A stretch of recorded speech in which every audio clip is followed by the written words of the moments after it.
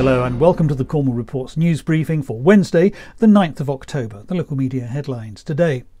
The row over whether or not Cornwall Council should follow its own constitution when there's a challenge to its leadership has taken a new twist, with the council's top lawyer trying to defend his decision to impose arbitrary time limits and his insistence on wet signatures rather than the now standard email. Henry Gordon Lennox has only a week to go in the job and appears to be leaving with his reputation damaged by this act of self harm. The overall impact of the row has been to drive up support for the plot to dethrone the council leader.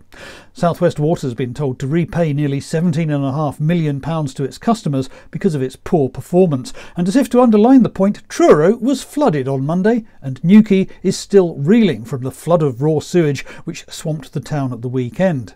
Congratulations to Tanuvi Ethunandan, who's the first chair of Cornwall's Fairness Commission. Gold Star, if you know what that is. And Cornwall's Spaceport continues to boldly go where it absolutely doesn't need to, attending a nice jolly conference in Milan. Greatest Hits Radio had its own take on that Southwest Water story, reporting that nearly a fifth of domestic supplies are lost due to leaky pipes.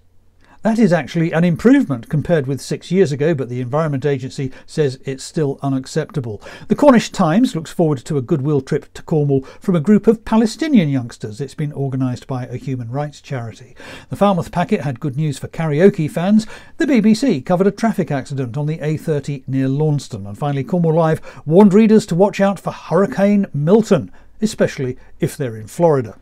And those are the local media headlines for now. Thank you very much for watching. Please share this video on social media. I'll be back again tomorrow. See you then. Bye bye.